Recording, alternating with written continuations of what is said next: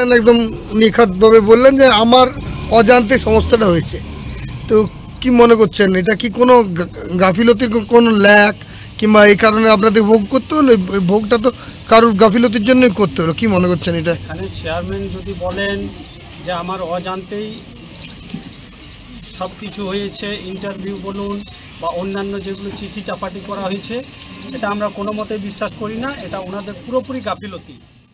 রানীগঞ্জের TDB কলেজে সাঁওতালি ভাষা ও অলচিকি লিপিতে স্নাতক স্তরের পড়াশোনা শুরু করার দাবিতে আদিবাসী সংগঠন দিশম আদিবাসী গাঁওতা এবং মাতৃভাষার জন্য লড়াই চারই জুলাই থেকে কলেজের সামনে বিক্ষোভ অনশন করছে। আজ পঞ্চম দিন। উপবাসের জন্য সংগঠনের পক্ষ থেকে একটি সাংবাদিক সম্মেলনের আয়োজন করা হয়। দিশম আদিবাসী গাঁওতার সভাপতি মাতৃভাষা লড়াইয়ের রাজ্য সম্পাদক সুকু মুর্মু, ভুবন মান্ডি সংগঠনের রাজ্য সভাপতি বাস্কির রাজ্য আহ্বায়ক সলমান মান্ডির সম্পাদক গোরাচাঁদ হেমব্রম, জেলা সভাপতি দিলীপ সোরেন ও জেলা সদস্য সীমা মান্ডি জানান, আঠাশ তারিখ থেকে তার সংগঠনের পক্ষ থেকে স্নাতক পর্যায়ে সাঁওতালি ভাষায় পড়াশোনা শুরু করা হচ্ছে। কলেজের গেটের বাইরে আটই জুলাই থেকে এখানে অনশন চলছে, কিন্তু এখনও পর্যন্ত কোনো ইতিবাচক সাড়া না পাওয়ায় আজও তাদের আন্দোলন চলছে। আন্দোলনকে আরও জোরদার করে পনেরোই জুলাই থেকে চব্বিশে জুলাই পর্যন্ত বিভিন্ন কর্মসূচি হাতে নিয়েছেন তিনি।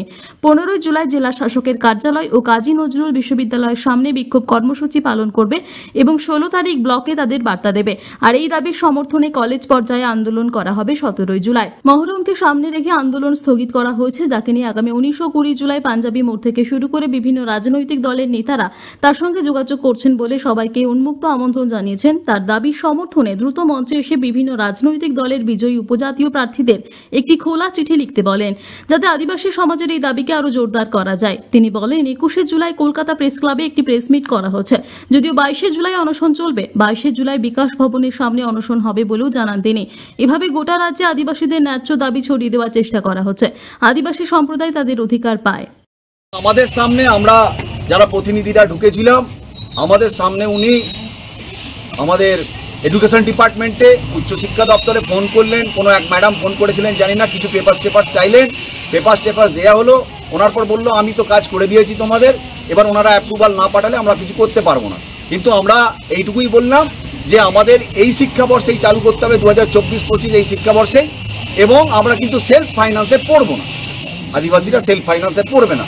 যখন এতগুলো সাবজেক্ট চলছে ওনারা বলছেন গর্বের বিষয় যদি নতুন কোনো সাবজেক্ট তৈরি হয় নতুন কোনো সাবজেক্ট এখানে পড়ানো হয় তাহলে গর্বের বিষয়টা কি সেটা বুঝতে পারলাম না।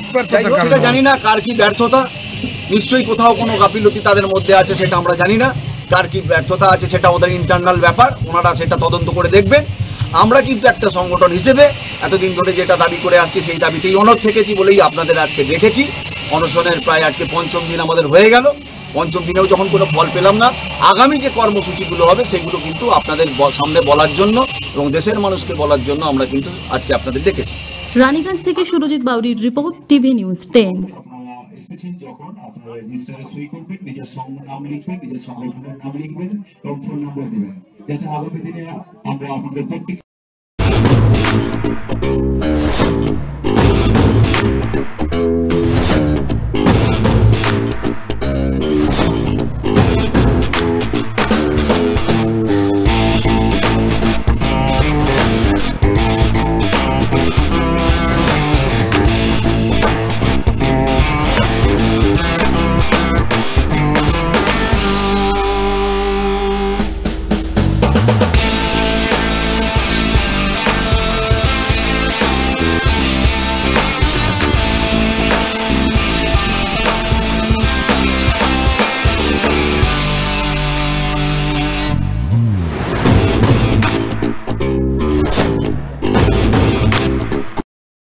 সবার আগে খবরের আপডেট পাওয়ার জন্য সাবস্ক্রাইব করুন আমাদের ইউটিউব চ্যানেল এবং ক্লিক করুন বেল নোটিফিকেশন আইকনে।